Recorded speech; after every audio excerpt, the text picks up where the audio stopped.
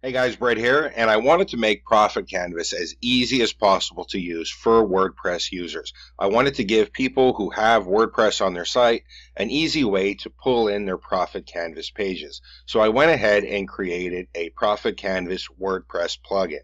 And here it is, it's logged into my testing blog, and I'm going to show you exactly how it works right now.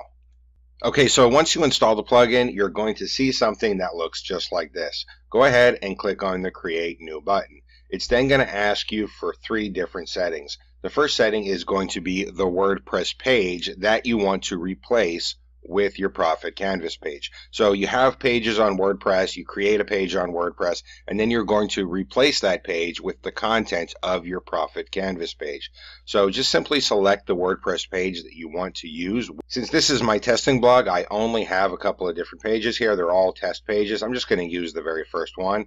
It's then going to ask you for your Profit Canvas ID, and you get that from inside of your dashboard. So if you go to any of the pages here, you can click on the embed button and it can see your page ID. This is the number that it's asking for right here. So I'll go ahead and copy this and I'll paste it right in there. It's then going to ask you what type of page ID this is. Is this a normal page or is this a webinar?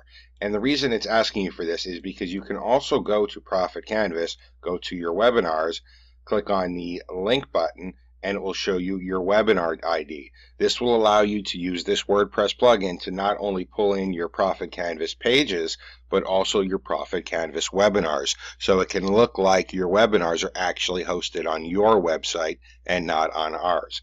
Since this is just a page that I'm using for this demo, I'll change this over to normal page.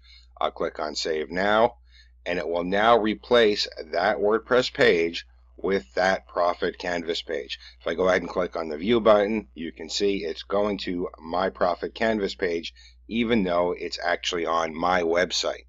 Okay, so that's a really quick and easy way to use the WordPress plugin for Profit Canvas to pull in both of your Profit Canvas pages and your Profit Canvas webinars into your WordPress site.